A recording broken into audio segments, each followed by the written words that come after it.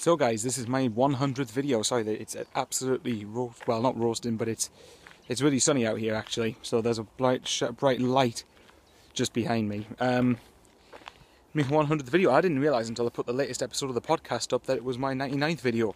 So I figured I might do something just just a sort of just a general chat as I usually do, but something that means a bit more for my 100th video. Um, as of when you're watching this, um, the funeral of Bradley Lowery will take place tomorrow's Thursday evening. I'm recording this, so it's going to be tomorrow by the time the funeral comes along. Um, and it's, I'm hoping people go just to pay their respects to the kid because, um, you know, he he has taught everybody a lot, and I think the the I wouldn't say anything good to come from him dying because it's never a good thing.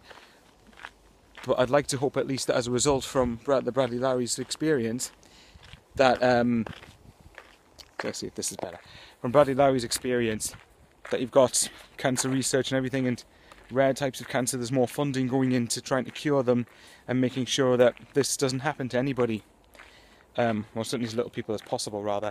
But um, Bradley rest in peace mate. I did, I, would said I wasn't really going to talk very much about it just more out of respect for his family more than anything. But it's I figured as this is be 100 I wanted to mention. It so Bradley rest in peace mate um, you will never ever be forgotten. And I watched the True Geordie's video actually on him, and I don't, I rarely watch his videos anymore. But this was, but it was on Facebook. I think it's his tribute to Bradley Lowery, and he's spot on. Everything he says about the kid is spot on because he achieved a lot in the six years he was here, and he will undoubtedly never be forgotten. And this is one of the things, this backs my argument. Football is never just a game. Look at how many fans were united behind Bradley's cause. I've never seen so many fans come and unite together in something, in anything before, let alone this. And I will give a shout out to Jermaine Defoe. You won't be watching this, but he's he was great with the guy. Sunderland handled things well as well, and Everton. I'll give a special mention to them. They didn't they didn't have any connection to the kid originally, and look what they did for Bradley. Honestly, you know, and Bradley got to manage England as a mascot. You know, so good on him for that. But rest in peace, man. Honestly, you deserve it.